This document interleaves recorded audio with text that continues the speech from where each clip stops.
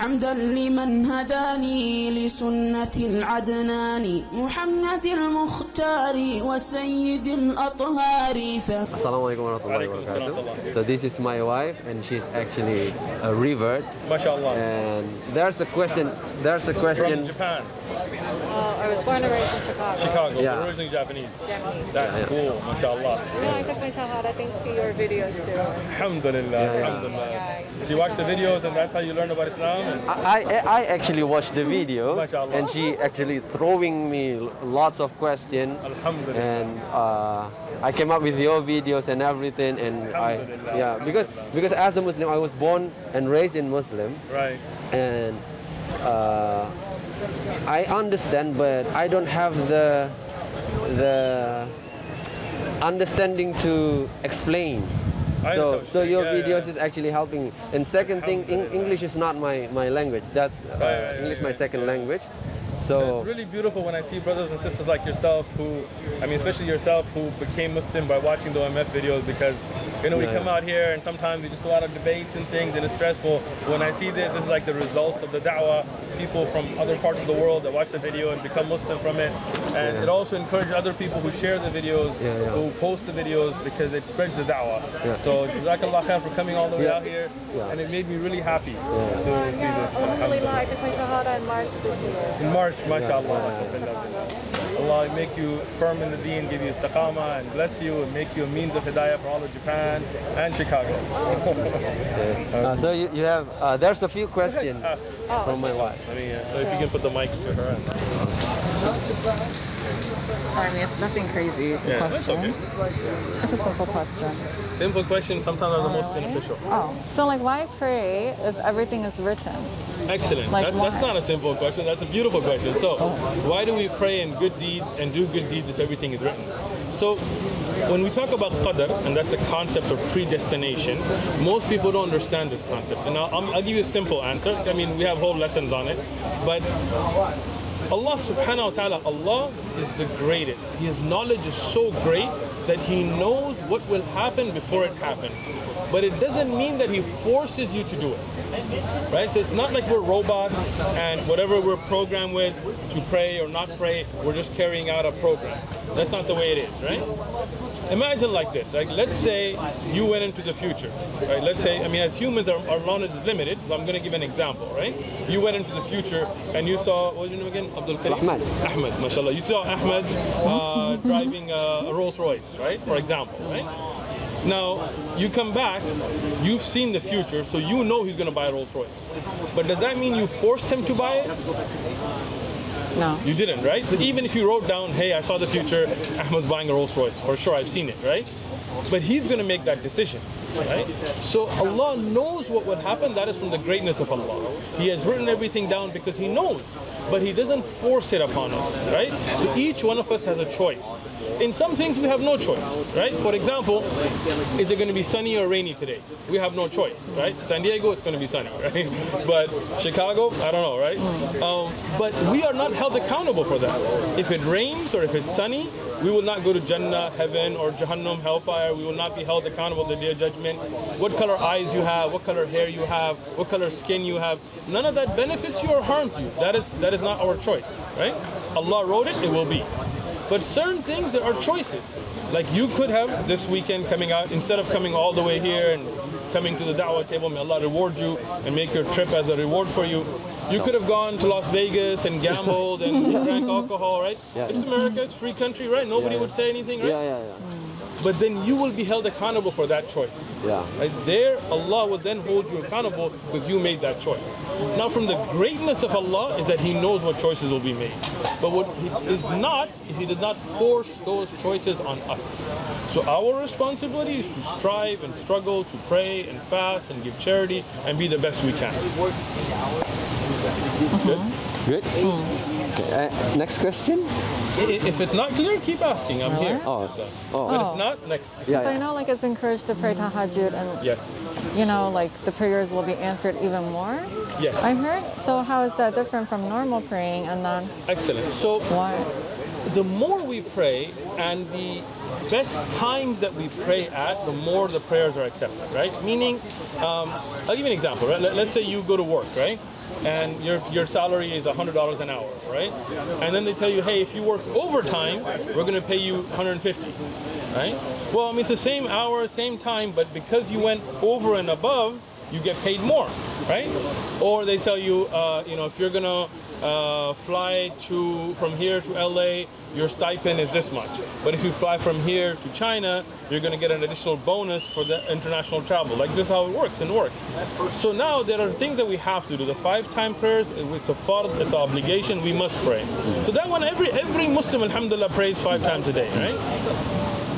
Hopefully, right? Um, but then those that want to be closer to Allah, those that want to do above and beyond, then they pray the sunan, the extra prayers. Then they wake up at night where everybody's asleep and everybody's snoring, and they wake up and they make wudu and nobody knows, and you start praying and you're making dua. At these times, you're closer to Allah. The Prophet ﷺ said that Allah descends to the last sama in the in the last part of the night, and He asked, "Who is there to ask?" And so this is a time where your prayers are accepted because it's the time that Allah loves for the for the slaves of Allah to be praying to Him. And there are other times, like between the adhan and iqamah. Once the adhan happens and the iqamah, this is the time where prayers are accepted. Muslims have to make dua in this time. There is a time in, in the day of Jum'ah where dua is accepted. So for us, just like you know at work, we want to figure out how can we make the best salary. We need to figure out what those times are and how we can take advantage of those times, right? And the one who strives and struggles reach their destination, right? Let's say you were going to drive from here to Chicago, long drive, right? But it's not going to be easy. You're going to get tired. There's going to be you're going to take breaks. Your car's going to have problems. You know, food issues. Can't find halal. All kinds, right? So if you if you're one of those people like, nah, forget it. You know, then you're not going to make it. But if you're like, nope, we're going to go, and then you you you toughen through it, then you will make it to your destination. So Jannah is our destination. So the one who strives and struggles the most will make it to the highest level of Jannah. So we ask Allah to accept it from us and to give us the ability to use those times. Ah, Good? You understand? uh, yeah, I understand. Oh, What else? Is there any question? so in regards to like acceptance of prayer, then, but it's already written. Mm-hmm. So, So again, what's written is what Allah's knowledge has, not what will be forced upon you, right? So you got to think like this. Um, let's say, and I'm going to give you a very basic, simple human example because I can't give you example of Allah because Allah is the greatest, Allah is above our thoughts, right? But it'll give you an understanding of the concept, right? Let's say you, you're here, we have a water fountain behind us, and you have a child, and you see the child running. Now, you as a parent, as somebody who's lived life, who's seen experience, know at the rate that he's running or she's running, she's going to slip and fall in the water. And you tell the child, hey, stop, you're going to slip and fall in the water, right? And the child doesn't listen, he's going to run, he's going to slip and fall in the water, right? Now, your knowing that is because of your knowledge and your experiences and how you know at speeds and things. But it doesn't mean you force the child to fall, right? So Allah knows whose dua will be answered. That is from the greatness of Allah. But it is upon us to make dua and to ask and to beg Allah and to strive and pray for it to be accepted. If we don't do it, it's our shortcoming. We cannot complain to anybody. If we do it, Allah answers the dua for sure. Allah always answers the dua. Yeah. There are three things that happen to a dua. Either Allah knows best for you and gives it to you right there, if we're sincere, mm. right? Let's say you make dua, I want to go to San Diego and meet Uthman at uh, OMF. Allah answered your dua, you're here, Yeah. right? Sometimes Allah knows it's not the best time for you, right? Sometimes Allah knows that at that time you won't be able to handle it, right? Somebody says, Allah, make me a billionaire. But Allah knows, even though we may not know that if you became a billionaire, maybe you'll get misguided. Maybe Yeah. you'll become mutakabbir, you'll become Yeah, yeah. prideful. Right. Maybe you'll start not caring about people because you'll fall you'll for the glamour and glory. So Allah doesn't give it to you there. He waits till you are ready for it and then gives it to you. Like we have a lot of young brothers, they're like, Allah I want to get married, right? But they got no job, they got no anything, right? So Allah knows they got married, they couldn't handle at that time. So then Allah waits till they're ready and then Allah finds them the spouse, right? So then we Wow, make that's. Very good. Wow. good example. Good example. Right? So this is sometimes you have to be patient with your dua. And the last thing is sometimes Allah knows that it's not good for you. And Allah sees the reward in the hereafter. Dua is never wasted.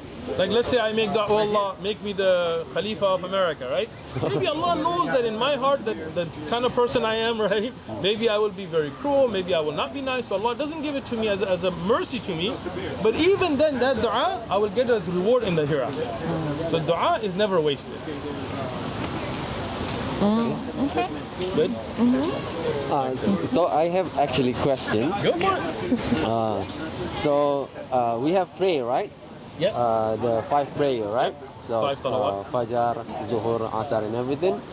Uh, Prophet Muhammad sallallahu alaihi wasallam, "Sallu kama ra'aytumuni usalli." MashaAllah, beautiful. You know the hadith and everything. Yeah. So, uh, but what I see uh, in today's world, like we have different Ah. type of, you know, uh, takbir. Yeah. You, you- you know, even even the tahiyat akhir is, Sure. is They're different. So, yeah. uh, is it is it we invented it or No, so so let me explain. Uh, Oh, is it- you is it guys have good questions, by the way, right? But I'm gonna try to give a brief answer, right? The Prophet sallallahu alaihi wasallam he prayed, right? And the Sahaba radiallahu anhum, the, the companions, they saw him pray. They memorized his prayer. They wrote down. Now, from that, the great scholars of Islam, especially the Imams, the famous Imams, Abu Yeah, yeah. Hanifa and Malik and Yeah. Shafi and Ahmad, may Allah be pleased with all of them, they would derive the fiqh, right? But questions would come up that maybe wasn't in front of them, right? For example, uh, if you saw me prayer today, maybe you'll remember a part of my prayer, you'll remember a part of my prayer, but when you go back to Malaysia and somebody asks you, hey, uh, what did Uthman say in the last part of the dua, you'll be like, I don't know, it was a silent salah, I couldn't hear him, right? So some things you won't catch. So then the scholars did their best to put together the prayer as the Prophet ﷺ prayed, right? So not every scholar is going to be right in everything, right? I mean, a scholar is a human being, right? He's not a prophet, right? So they tried their best. So the best thing is to pray in accordance to what is closest to the evidences. Right? So, for example, uh, I'm going to put Malaysia on blast here. I hope you're not going to get upset.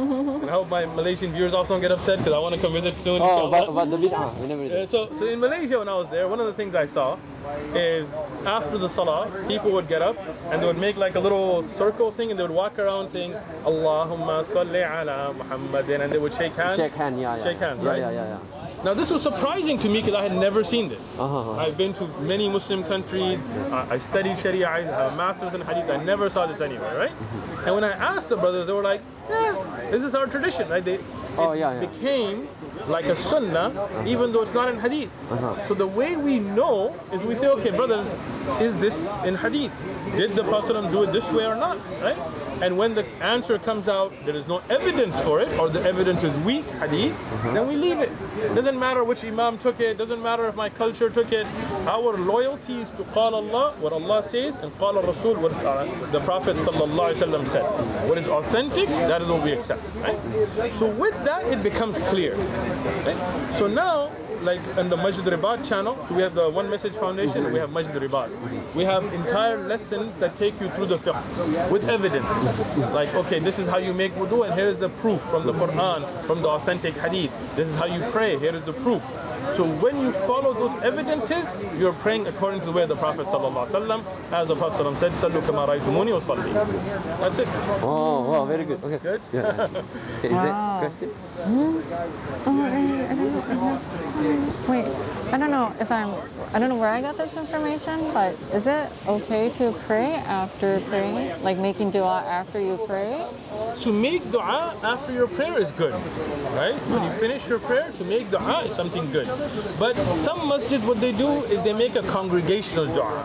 Like after the prayer, the imam will turn around and everybody will raise their hand and they'll make it in jama'ah. We don't know this to be a regular sunnah. Like people who do it all the time, like after every prayer they make a congregational dua, this becomes a bid'ah. This becomes an innovation. Because we know the Prophet ﷺ used to make his azkar and, and if you do make, make individual dua. Right? So meaning if you if you just made your salah in the park and then you wanted to make dua to Allah subhanahu wa ta'ala to uh, bless you with knowledge, great. After your prayer, this is a good time to make dua. But sometimes in the masajid, they take it to an extreme, where every prayer you have to have a congregational dua. Like I've been to masajid where I led the prayer, and afterwards when I didn't do it, they like got upset, you know. but this is not something that you make a congregational prayer is not sunnah, but to make your own dua is sunnah. Oh, I see. Oh, should I ask You about got my anything else? Facebook Relax and pictures? Oh yeah, yeah. Can, can. Oh, so you know, like I just reverted in Alhamdulillah, March. Allah bless you and reward you for it. Thank you, alhamdulillah. Yeah, but um, you know, like Facebook, my pictures before I became Muslim are still up there, and You can slowly, slowly start taking them off. Uh, no, it's but actually it's people, from. yeah, like I'm tagged in them, but it's on Ah. other people's Facebook. So if you are not in control of them, then you're not responsible for them, right? Because it's not under your control. But if, if they're like on your Facebook or your family, you can humbly request them. That, you know, now I, I cover, I'm requesting you if you can take those pictures down. But again, anything from the past, you are not liable. Right? Uh, you are you when you became Muslim, you're like a newborn baby. Everything is cleaned Yeah. out. It's a great mercy from Allah. When Allah guides somebody to Islam, uh, I mean, there's something so beautiful because even any bad deeds you may have had get turned into good deeds. Lots of reward for you, right? Yeah. So you're you're wonderful. But now going forward is what you're responsible. Yeah, yeah, I guess I remember you said that. yeah, yeah. I said Yeah, mashallah. But oh, okay. But I'm most- jealous of her. May Allah give you the reward because you were also the means of giving her the Islam. So inshallah, will be in your, her good deeds will be in your reward. So you just work together and keep building a pious household with pious children and a pious community. And make sure, don't forget the aspect of da'wah to your family. To your old friends, to people, especially in Japan, because that's a place where Islam isn't as well known or well understood as other countries. And it's growing, alhamdulillah. And we get some emails and stuff from Japan, but uh, but inshallah it'll be great because you're from Japan, you know the language, I'm assuming, right? And you know the culture. So for you, it'll be much easier to do the da'wah to them than somebody from like myself or somebody from outside. So, inshallah, slowly, slowly. Oh, inshallah. Oh, okay. Anything new about, about the uh, 5,000 years ago, the human is Oh wrong, yeah. why, Oh, but still going with the Facebook pictures. But I still feel sad. Like It's okay. And, I mean, like I said, uh, Allah subhanahu wa ta'ala is so merciful and so forgiving and so loving that He knows your intention. Right? So let's say somebody uh, has a picture of you from a long time ago, and Allah knows in your heart you don't want it there, but you have no ability to take it off. Allah will not hold you accountable for it. That's the beauty of Islam. Allah does not hold you accountable for anybody else's sins. Unlike the Christian idea, you're born with sin because of. Adam. Like, we don't believe that. Why? Because every child is born pure. And when you become a Muslim, you're like a child. You're pure. You're everything cleaned out. I mean, I'm glad that you have that love for hijab and that love for doing things right. And you should always keep that. But don't let it make you depressed or sad because your, your Rabb, Allah, is so merciful and so loving that He doesn't hold you accountable for what's outside your power. Mm. You feel good? oh yeah. Okay. Oh thank you. Wait, I do have more questions. Go ahead. So if Allah is so merciful, then why in the Quran, you know, He says disbelievers are going to go to hell. Sure. And also, what was it? It was the fourth to last surah. Uh-huh. The uncle. Oh, the uh, Al-Lahab. Uh, Abu Lahab. Abu, Abu Yeah. Lahab, yeah. Excellent. I What? thought you say like you won't know anyone's heart until the very last minute of their Sure. death. Like they might even change. I will explain. So, hmm. Allah is so merciful and so loving that He gives us the ability to choose right from wrong. And He gives us guides, like the prophets, and He gives us signs in our daily life. And Allah gives us so many openings for us to leave that's what's wrong and go toward what's right, right? But Allah doesn't force it on us. Right? Just like He doesn't force us to go to Jahannam, He doesn't force us to go to Jannah. It has to be a choice. Just like a professor, right? I mean, if, as a human example. Again, the examples of Allah are too high. We give basic examples to understand concepts.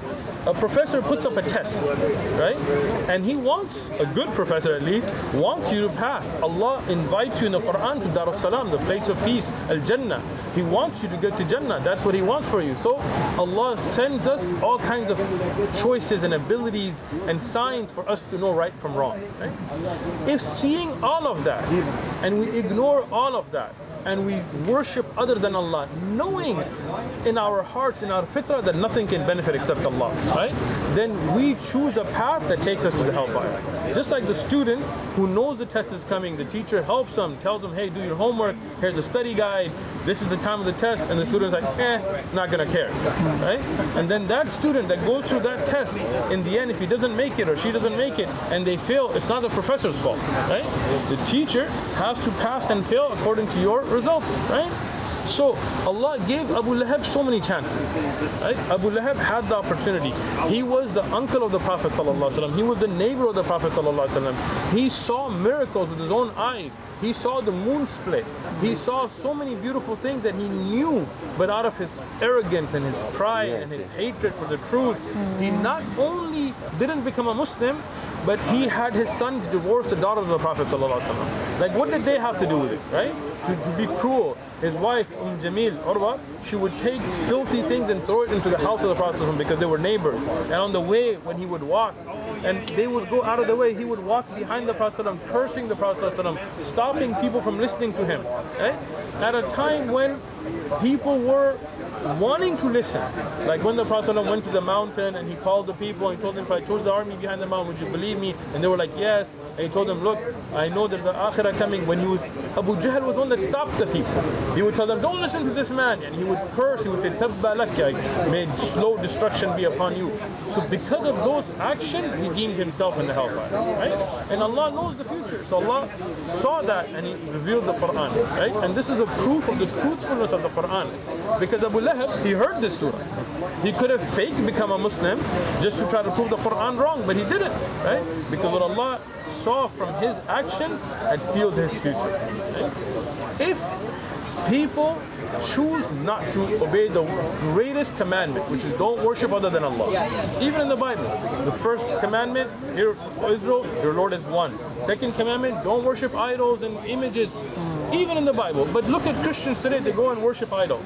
You go to a Catholic church, you, you see saints and Mary and this. You go to a Christian church, you see Jesus hanging on the idols, images, which is forbidden in the Bible.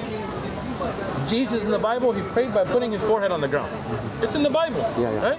But which Christian do you see doing that today? I've been to many churches. They're out there doing this or dancing or you know doing hallelujah and all this stuff. But you don't see them praying like the Muslims pray, putting their forehead to the ground. In their own Bible, even after all the additions and corruptions and additions, even then they have Ibrahim alayhi salam, Musa alayhi salam, others praying with their forehead to the ground. You as a Muslim, you as a Muslim, you pray the way Jesus prayed. You pray the way Muhammad sallallahu alaihi wasallam prayed. How Musa and Ibrahim alayhi salam, Allah peace and blessing on all the prophets, they prayed, right? But somebody who knows all that, they see the corruptions, but they're like, nope, I don't care what's the truth. I'm gonna stick to worshiping a, a white guy on a cross, or uh, you know, like for example in Japan you have a lot of Shintoism, right? You're worshiping your ancestors. What do the ancestors? What do they know? They're dead. They're gone, right? You go to you go to uh, India. You see, I saw myself people taking cow urine, like a cow is urinating and they run, and they're splashing it on themselves. Disgusting, right? Like, what are you doing? They're worshiping a cow. Like a cow, you make burgers out of that thing. Come on, you know that's not God.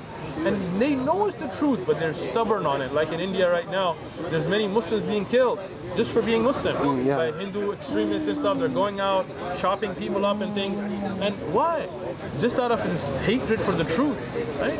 How many prophets were killed for what? Yeah, yeah. Just for believing in Allah. Right? So when you do that, then you set your own path. Right? Allah doesn't want that for you. Allah wants guidance for you. That's why Allah gave you fitrah, that natural knowing that there is one great creator. Then Allah gave you signs. And Allah, Allah could have not given us any of that. But look at the mercy of Allah. Look at the sky. Look at plants. Look at animals. Look at humans. Look at the human body and how it functions. All those beautiful signs that Allah gave us. Right? As a guidance. And then on top of that, Allah sent prophets, one after the other, from Adam to Muhammad, alayhim salam, and peace and blessing be upon all of them, right? All of them as guides. Then Allah sent scriptures. We would change them as humanity would change them. Allah sent the final scripture, preserved it. With all of this, if you still don't go towards Islam, then what can Allah? Allah can't force you, right? Allah can only show you the way and call you towards it. Mm. Mm. Mm. Okay. Good. So don't be sad about the pictures and everything. Yeah. Okay. Anything else? Anything? Mm, yeah, I have a question. Why did he even just create humans to begin with? Why? Was he bored? Was he? So Allah creates what He wants, why He wants, right? We don't really have the ability to say why, right? Because Allah is the great creator. Allah doesn't need humans. Allah has always been there. So there's been an infinite amount of time that we can't even imagine that there were no humans, right? And Allah will always be there. But Allah chose to create many creations, not just humans, right? Allah created jinn, Allah created humans, Allah created animals, Allah created uh, things that we can't see, things that may be above the skies, like angels and other creations of Allah, and Allah created it with His wisdom. Right? What is the purpose of our creation? That's what we can ask. Right? What what should we be doing? Allah subhanahu wa ta'ala says, jinna wal insa illa liya'budun. I did not create the jinn or in or ins, the jinns or humans except to worship. Worshipping Allah means first and uh, first and foremost recognizing yani to know who is Allah. Right? The first thing we need to recognize who is Allah, right? And then, as you have done, accept that, accept the truth of Islam, and then live our life according to the Sharia. That's worship, not just the prayer. The prayer is only one aspect, right? When it's Ramadan fasting, that's ibadah. When you it's time to give zakat, that's ibadah. When you see a poor person, you help them, that's ibadah. When you see a person oppressed and you help them, that's ibadah. That's all part of worshiping Allah, right? That's what Allah created it for us. That's our purpose in life. Mm. Mm, mm, Good? Okay. oh. But how do you know it's the truth? Like to me, okay, I believe it's the truth, and I, maybe he, you know, he would think it's the truth. But how do, how can we say it's the universal Excellent. A truth? great question. How do we everyone, know, as uh, their science says too. Yeah, I got you. Um, when we look at, the first thing we have to look at, is there a creator or not? Right? That's the first question, right?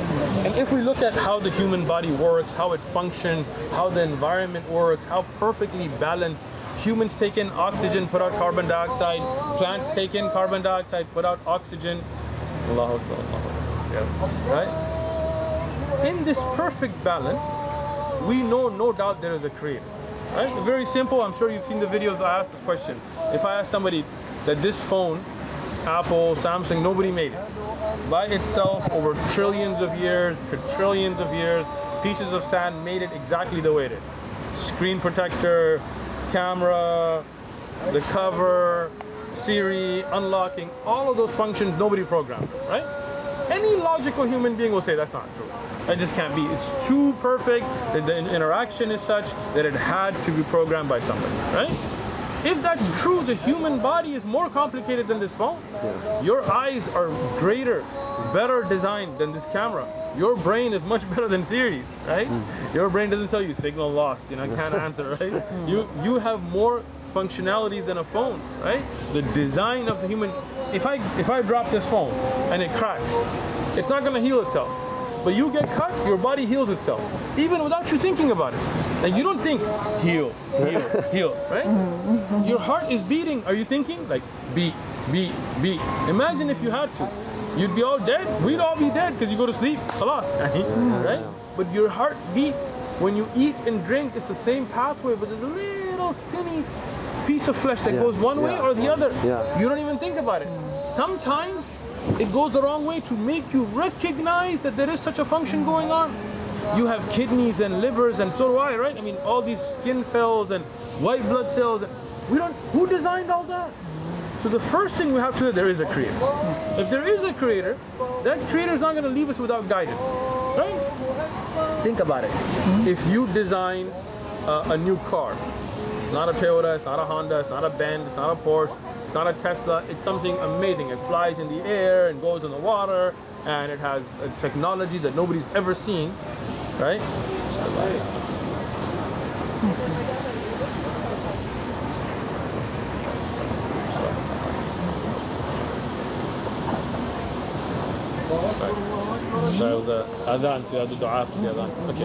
So if you design, we're gonna make a second jama'ah. We pray two jama'ah. One jama'ah prays and the other comes. So when you design such a car, and you are the one who manufactured it, designed it, developed it, there will be things to- like what kind of gasoline will it take? Will it take diesel? Will it take gasoline? Will it take electricity? You know it.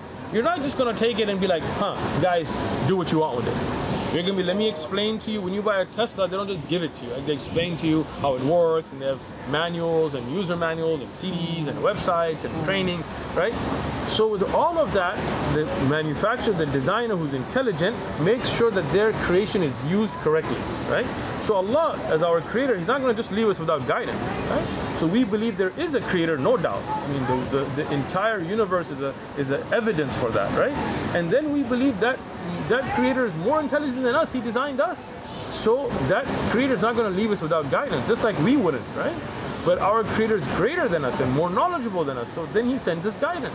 So then we have to say, okay, what is the truth between the different religions, right? Now, if you think about it, and I'm going to give a very simple answer, have that much time. You look at the Hindu faith, right? You look at uh, worshipping of monkeys, and uh, I mean, like for example, I don't know if you've read. I, studied some Hinduism, and they have story of Ram and Gita, right? Ram is the main creator, God, guy, real powerful, all that, right? And then he has a wife named Sita, and then he, she's also a goddess, right? And then Ram goes out of the house, and I'm summarizing the story, and this guy named Ravan, who is this evil king from Sri Lanka, I don't know why Sri Lanka, with like 12 heads. I don't know how he has 12 heads, right?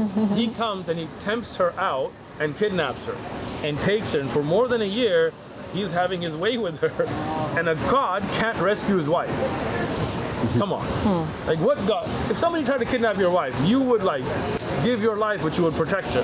As a Muslim man, I mean, nobody's touching my wife. I'm, I'll give my life, whatever, I'll, but I'm not gonna let anybody dishonor me like that, right? A god can't protect his wife. He has to get help from a monkey god, named Hanuman, to storm. Come on, right? Like, these are stories. These are fables. This is not. They know it's not the truth. They know there's not a 12-headed guy walking around Sri Lanka and all that kind of stuff, right? They have this elephant head guy because the god got jealous of his wife's creation from her her, her, her third and he cut off his head and put an elephant's head. He put an elephant's head on a human body. Come on, right? Like all of that stuff, you know that's not. Mm. These these are traditions that developed over time. If you look at ancestor worship, if you look at Buddhism, if you look at Shintoism, these are philosophies. These are not talking about the ultimate truth about the creator of the universe and so on. People have made them into religions, right? So that's all nonsense, right? Then you get to the Abrahamic faith. Okay, you have the Old Testament. Today, any Jewish scholar will tell you that if the writings that were with Moses, according to them, were there, we don't have them today. The fall of Babylon, the, the, the displacement of the people of Israel, from different stories, from song, they rewrote a lot of that, right? That means the original is lost, right? If you look at the traditions of the Judaic faith today, hardly any of them can be traced back to Musa alayhi salam or Dawood alayhi salam, right? I was in Israel, in Palestine, Allah free it. Uh, and there we saw the Orthodox Jews walking around with like curls and the hats and the big furry hats and the big robes. And I was like, that's a pretty weird dress for like a hot area like that, right? So I asked him, like, is this from like Musa alayhi salam? Did he dress like that? Is that why you all? He goes, no, no, this was developed in uh, different places in, in Europe, and there was a king of Europe that made people wear the tails of foxes, and then that became that fur. Like, what? No, no, that is from Musa alayhi salam. I saw, I saw it. You can Google it, but I saw it myself. They would take live chickens, Jews, and they would throw it over their head, like a live chicken, right? Where is that from? Is it in the Torah? Is it in the Talmud? Is it from Musa alayhi salam, Dawood alayhi salam? No. Hmm. So all that is just made up, right? So you know that's not the truth, right? Then you get to Christianity and you look at the Bible and you look at the contradictions in the Bible and you, hmm. you've seen the videos so you know mm-hmm. and you look at the additions and subtractions and the different versions of the Bible hmm. and you know that's not. That's not the message of Isa ibn Maryam, right? Whoever wrote it from the Greek author, they may have aspects of that message still. They may have taken some aspects, but no doubt much of it is, even if you look at the King James Version and the New uh, Revised Version, and NIV, and New International Version, and you look at uh, the NSAV, and you look at the Jehovah Witness, all of them have even different numbers of verses. There are verses that are taken out, right? So that tells you that these were fabrications. The Catholic Bible has a whole different number of chapters. So all this has been added and subtracted. So that brings you to the final message of Allah, of the Creator, the Quran. The one that is preserved letter by letter, word by word, without any doubt. Right? Even how we pronounce it we have to attribute back to the Prophet sallallahu. Subhanallah. And if people talk about the Hafs Quran and the Qalun Quran because they don't understand what that is. That is a recitation. And even that has to be with a chain mutawatir and multiple chains back to the Prophet ﷺ in accordance to only one Quran that is the Mus'haf Uthman anhu, in accordance to the Arabic grammar. Right? So even how we pronounce it we preserve, let alone the wordings and Tajweed. letters and so on. Right? Tajweed, makharij, qira'at, mm. which came from the ahruf and so on. So that is the final preserved message. No doubt to that. We can we have carbon dated manuscripts we can look at. We can look at hufad, like Malaysia, you go, you see all these hufad. Pakistan, Egypt, you see all these people that have memorized the whole Quran. In San Diego, we have brothers here right now who's praying. He's memorized the whole Quran. Right? Word by word, letter by letter. You can test them if you like. We do it all the time for fun. You know, just tell them, read from this surah, this ayah. So that tells you this is the final preserved truth, and that's how we know it to be the truth. Wow, okay. Yeah. Perfect. Yeah. Alhamdulillah. Alhamdulillah. Okay. Um, so my dad is, I guess, atheist, Yeah. And he's so stubborn. you know, like he doesn't want religion at all, especially Japanese people because there's Yeah. such a bad, I don't know, like reputation Yeah. for religion in general. So what would you want, like, if you have one thing to say to someone? I mean, uh, for your anything? father, first and foremost, I mean, show Islam in your life, right? Be a good daughter. Be show him how Islam has benefited you, how it's improved you, how uh, you know, and, and many people that are here, their parents became Muslim from seeing a good change in their children after they became Muslim, right? That's the first thing. Secondly, because it's your father, somebody close to you, you know his mindset, right? Being stubborn, all that, but in his heart, when when a hardship comes, when something goes, I'm sure he prays. Every human does, right? That's why they say there's no atheist on a, on a plane that's faltering. You know, when the plane starts to shake, nobody goes, "Oh God, oh God!" Like I thought you didn't believe in God. Right? right? So ask him. I mean, ask him these questions. That okay, if you don't believe there's a God, I mean, out of with love and respect and good manners, tell him where do you think we came from? You know, ask him about the minimum gene concept. You know, where the, the human cell or any living matter, the cells of a human, even a single cell parasite, bacteria types, cannot survive without a minimum set of genes, right? So if we just evolved from nothing, who set that minimum set to be there for the first cell to even survive? Right? We could not have without it. Right? Ask him why do we have certain functions? How you doing? Feel free. Okay, go ahead. Mm. This is a great intro book. You wanna check that out? Mm. It's all free. want. Yeah, all free, bro. Go for it. Mm. Go for it. Take it. There you go, bro. The only price is you gotta read it. Any questions you got? Ask brother. So if you if you look at that concept, then you explain it to your father and let him think about it, right? Let him think about what's the purpose of life under atheism, what's morals, what's right and wrong. If you're atheist, how can how can you say something is right or wrong? Because then it's your subjective decision, right? Have these slow, and I know the answers he will give you. Watch the videos. We've already answered them to a lot of atheists, so you can learn from the videos how to answer and keep going, inshallah. And Allah will guide you, Father. Mm. Inshallah. Mm, we make dua for him too, Oh, thank you. We pray every day. Inshallah. Excellent, excellent. Oh, okay. Anything else? Hmm, Is there anything you can say to my dad if you can? I don't know. I'm so curious. So, Personally, on a personal level. What personal can you say to someone? Uh, we'll, we'll talk afterwards. Oh, okay. We'll try to see if we can maybe. Where is he? Is he in Chicago? yeah. Right, I'll be coming to Chicago one of these days. Maybe we'll go and see him. Oh, okay. Sit with him, inshallah. Oh, you don't have to if you're, No, if you're no, busy, we're, you know. We're, we're traveling to different cities anyway. Uh, Alhamdulillah, I was Yeah, just yeah, yeah. in He Portland, goes to Mexico. Dallas, and Oh. so uh, Chicago's on the list. We have a lot of brothers inviting us from out there. So if you're in Chicago, inshallah, reach out to us. Uh, we'll be coming. When I do, inshallah, maybe we'll go see him and kind of sit with him on a one-on-one level and have some great Japanese green tea. Okay, yes. I love green tea. I will prepare that. Yes, we do have some. at home. Excellent, I love it. آمنت أن الآخرة لا بد يوما آتية. كل الخلائق حاضرة كل السرائر بادية. آمنت أن الآخرة لا بد يوما آتية. كل الخلائق حاضرة كل السرائر